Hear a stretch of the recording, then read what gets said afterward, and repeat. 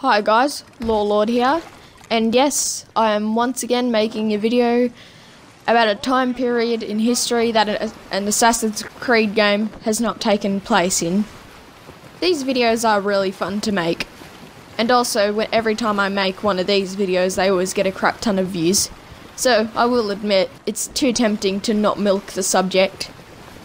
And today we're going to do the subject that a lot that has been discussed quite a lot, which is World War II. Most people don't think that World War II could work because of machine guns and several other things. Other people say that it could work. I'm on the fence.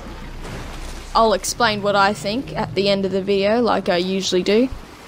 But first, let's talk about Assassin's Creed World War II lore. I just want to say that even though there isn't a video game, there is a book, an Assassin's Creed book that's based in World War II called Assassin's Creed Conspirations, which is where most of these this lore comes from. And you can also find the lore on the Assassin's Creed fandom wiki, which is the source I will be using. Joseph Stalin, leader of the Soviet Union, Franklin D. Roosevelt, President of the United States, Chiang Kai shek, the leader of China, and Adolf Hitler, the leader of Germany. In history, as we know, after the Allies win World War II, Europe is split. The West becomes independent, however, heavily influenced by America and Great Britain and the other allies apart from the Soviet Union and the countries of the East are turned into communist puppet states of the Soviet Union. This was the plan of the Templars. The plan of the Templars was to start a war so that the Allies could win, and via the Allies spreading their influence over Europe, Abstergo Industries would spread their influence over Europe. So even though Hitler was leader of Germany, it was actually part of the whole plan for them to lose. And as for Hitler committing suicide, in Assassin's Creed lore, he actually executed a double of him so that it seems like he killed himself. That was a part of the plan. He would kill a double, then he would rendezvous with the other Templars mentioned. However, where it went wrong for him is that he was assassinated by assassins after soon after leaving his bunker. Despite the setback, the Templars' plan was a success. This was, however, until after Roosevelt and Stalin died, because although after Abstergo still had a lot of influence over both countries, eventually the Abstergo ended up losing their influence over the government, which is why the Cold War happens. But this video isn't about the Cold War, this is about World War II, so now I'm getting a bit off track.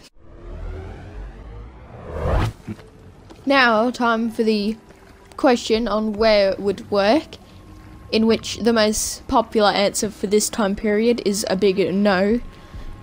But I just want to clarify that I won't be talking about who the main character is because I have not read the book, so I do not know who the main character is, nor could I find anything that gives a description about him or his character. So, I might be wrong on something here, so I do apologise. If you've read the book, I would like to know about this part.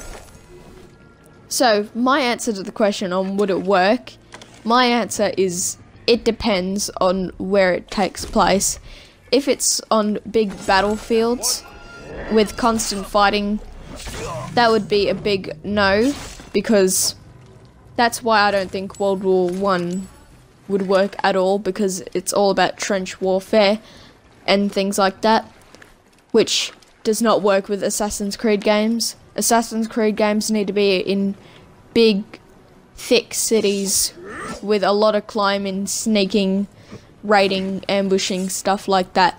If it's there's a mission where there's like a huge battle and you're a soldier, that would not work.